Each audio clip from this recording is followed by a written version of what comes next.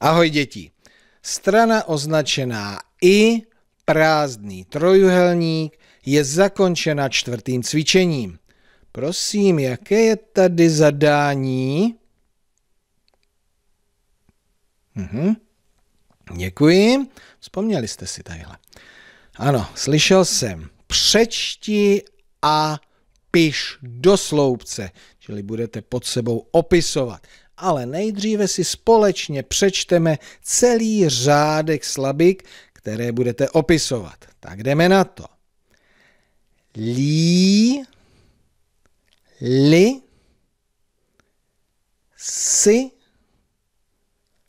pí, my, sí, mí, pi, li.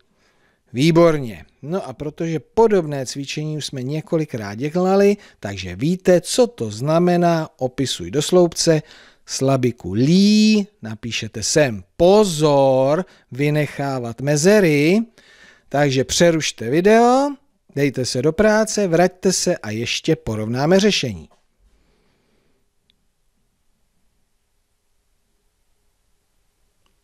Tak děkuji, psali jste opravdu poctivě.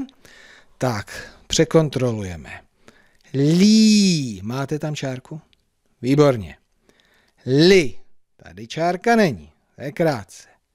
Si, uh-huh.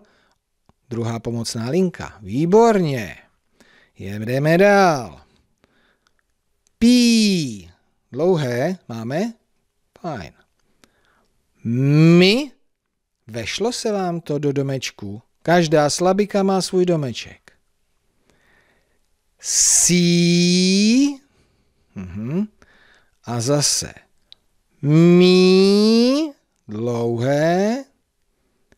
Pi. Krátce. Li. Krátce. Máte? Výborně. Takže jste pozorně opisovali. Paráda.